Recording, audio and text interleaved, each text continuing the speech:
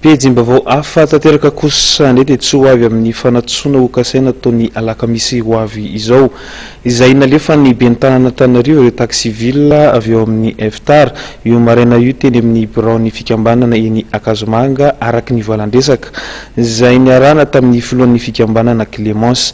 Izy ireo moa dia tsy manaiky hatramin'ny farany ny mahakasika ny Homavette sy ny lanterna vaovao, araka ny fanazavana hatrany.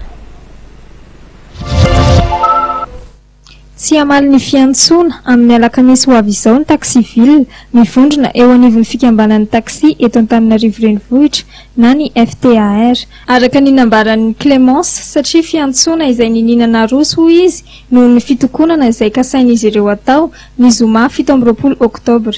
Tsy hanaiky hatramin'ny farany izy ireo ny amin'ny Home Avec sy Contre Visite.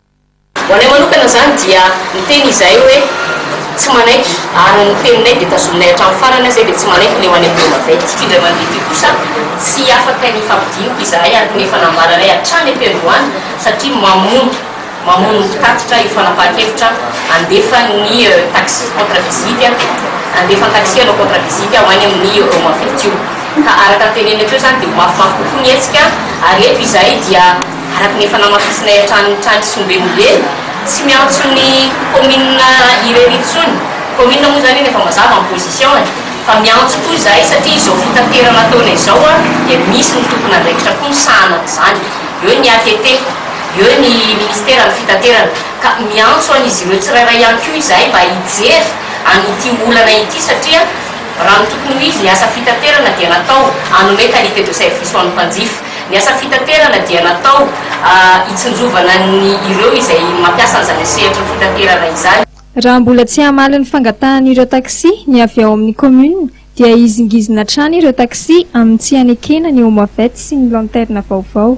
Noho izany, vao mainka hihamafy kokoa noho ny teo aloha ny hetsika izay.